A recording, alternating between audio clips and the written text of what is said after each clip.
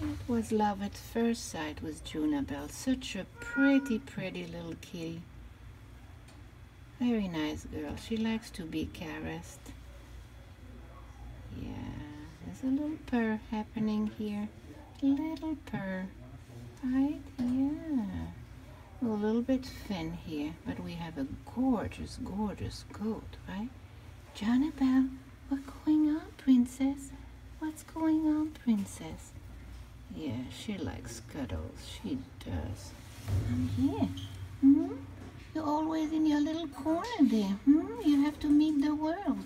Yes, you have to. You are too beautiful to hide. So this is Junabell here at the Manhattan Care Center.